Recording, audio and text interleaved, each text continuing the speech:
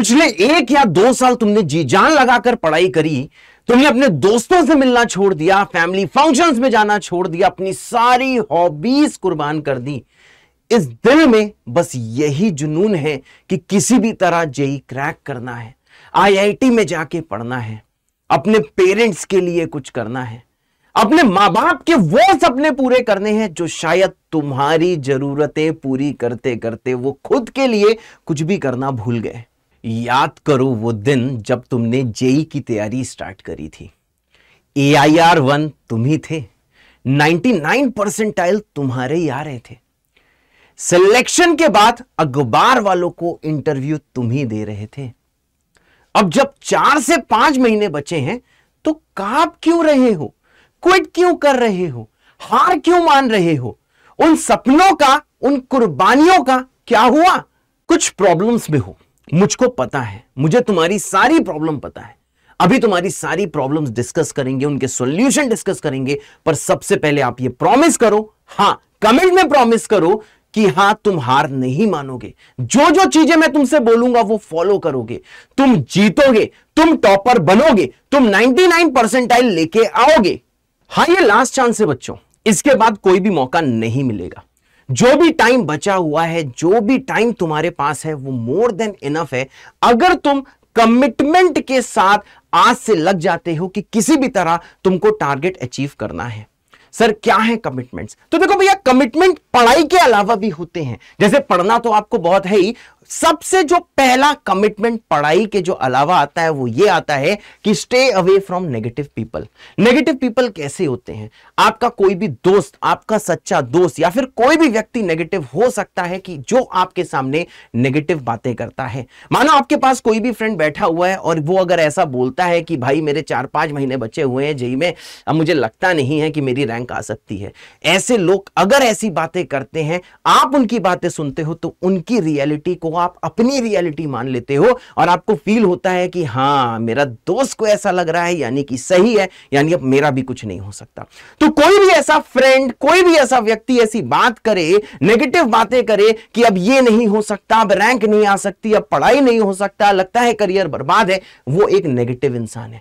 ऐसे लोगों के, के, के साथ अगले चार पाँच महीने के लिए आपको दूर हो जाना है और अपने आप को यह यकीन दिलाना है अपने दिल को यह यकीन दिलाना है, अपनी आत्मा को यह यकीन दिलाना है कि हाँ चार पाँच महीने में मैं रैंक लेके आ सकता हूँ। नेक्स्ट चीज़ आती है कि भाई अपने दिल से ये कहो कि हाँ जो फ़र्स्ट अटेम्प्ट जो जनवरी में होने वाला है, वही तुम्हारा लास्ट अटेम्प्ट है। आपको सेकंड अटेम्प्ट का वेट नहीं करना है। आपको अपने आप को बोलना है कि हाँ, अगर मैं अगले चार, पाँच महीने में जनवरी वाले अटेम्प्ट में 99 परसेंटाइल नहीं लेके आ पाया तो मैं मार्च, अप्रैल में भी नहीं लेके आ पाऊँगा। मतलब आपको अपने दिमाग को यह यकीन दिलाना है, यकीन से बोलना है कि हाँ मेरे लिए फ़र्स्ट अटेम्प्ट डू और डाई है। मुझे जो करना है उसी अटेम्प्ट में करना है। आजकल मैं सोसाइटी में एक चीज़ और देखता हूँ कि उसे 95 परसेंटाइल भी अच्छा लगता है। जबकि मैं मोटा मोटा आपको बताऊँ कि जो 95 परसेंटाइल है उसमें अप्रोक्सीमेट रैंक आती है 50,000 जबकि आपको एक अच्छे एनआईटी में जाना है तो उसके लिए आपको चाहिए 99 परसेंटाइल।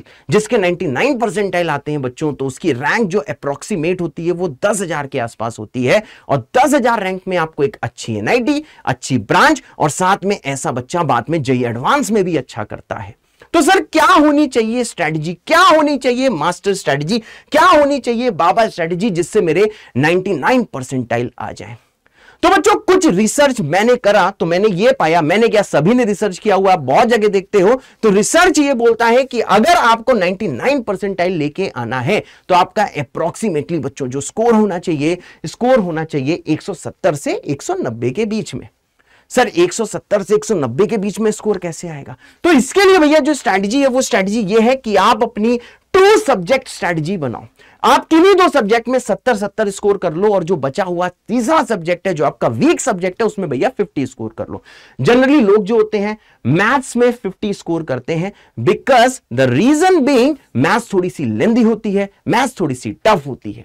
जबकि फिजिक्स और केमिस्ट्री थोड़ी इजी होते हैं। अगर आपकी मैथ्स अच्छी है तो भैया 70 70 70 आप 210 स्कोर स्कोर कर सकते हो। और मैथ्स थोड़ी सी वीक है तो मैथ्स में भैया अगर आपको 50 स्कोर करना है तो आपको सिर्फ़ 13 सवाल एकदम सही करने हैं। सर 13 सवाल कैसे ठीक होंगे? भैया जनरली वेक्टर इन थ्री से पाँच से छह सवाल आते हैं। अगर सिर्फ़ मैं वैक्टर थ्री की बच्चों बात करूँ तो पाँच से छह सवाल का मतलब होता है ट्वेंटी मार्क्स ऐसे और भी चैप्टर्स हैं जिसमें भैया एफर्ट कम लगता है और मार्क्स बहुत ज़्यादा आते हैं। बहुत सारे ऐसे चैप्टर होते हैं जिनमें एफर्ट बहुत ज़्यादा लगता है और अगर उस वाले चैप्टर में से कोई टफ सवाल आ गया तो उस चैप्टर को अगर आपने बहुत मेहनत से भी किया है, तब भी क्या पता आपका स्कोर ना बने।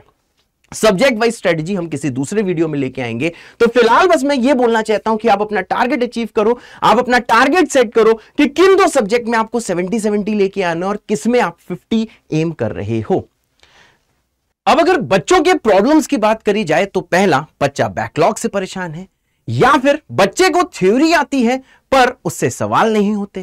क्या पता बच्चे को थ्योरी आती है, साथ में उससे सवाल भी होते हैं, पर एग्ज़ाम में नंबर नहीं आते। और चौथा, जो सबकी प्रॉब्लम है कि टाइम मैनेज नहीं होता। आइए इन सब की एक एक करके बात करते हैं। तो भाई, पहली चीज़ है जिसको हम लोग बोलते हैं बच्चों बैकलॉग्स तो देखो भैया बैकलॉग कवर करने का यह मतलब नहीं होता है कि आप एकदम ज़ीरो से स्टार्ट करो एक एक चीज़ पढ़ो।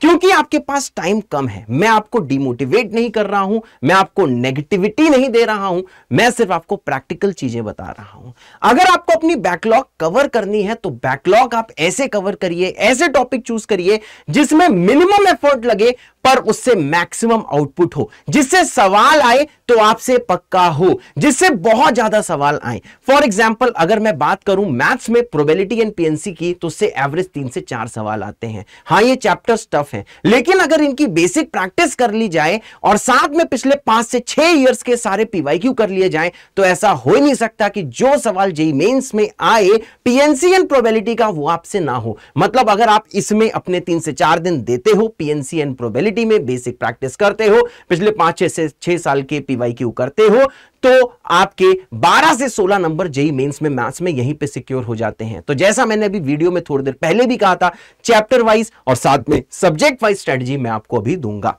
अब आती है भैया, दूसरी चीज़। अगर भैया, दूसरी चीज़ की बात करूँ तो वो ये है कि आपसे क्वेश्चंस नहीं बनते। तो ये मैं पहले भी कहता रहा हूँ कि आपको लगता है कि आपको थ्योरी नहीं आती, इसलिए सवाल नहीं होते, जबकि उल्टा ट्रू होता है, आप सवाल नहीं करते, इसलिए आपको डिटेल्ड चीज़ें नहीं आती हैं। तो देखो यार, अगर आपको अपना क्वेश्चन टेम्परामेंट सुधारना है, आपको क्वेश्चन सॉल्विंग मोड में आना है तो बच्चों, आप ज़्यादा से ज़्यादा सॉल्व एग्ज़ाम्पल लगाओ। आप कोई भी टॉपिक पढ़ो, उसका सॉल्व एग्ज़ाम्पल आपने पहला देखा। जैसे भैया, पहला पहला सॉल्ट एग्ज़ाम्पल देखा, सबसे पहले खुद से अटेम्प्ट करने की कोशिश करो। नहीं आता है तो सॉल्यूशन को पढ़ो और फिर से बिना देखे उस वाले क्वेश्चन को लगाओ। अगर आप ऐसा पर टॉपिक सात से आठ सवाल भी लगातार लगा लेते हो, चाहे देख के लगाओ तो आपका उस टॉपिक के प्रति टेम्परामेंट स्ट्रांग होने लगता है और ऐसा हो ही नहीं सकता कि आपका जो जेई मेंस पे उस टॉपिक का सवाल आए, वो आपसे ना हो। इन दिस वे आप अपना क्वेश्चन सॉल्विंग मोड और टेम्परामेंट इंप्रूव कर सकते हो।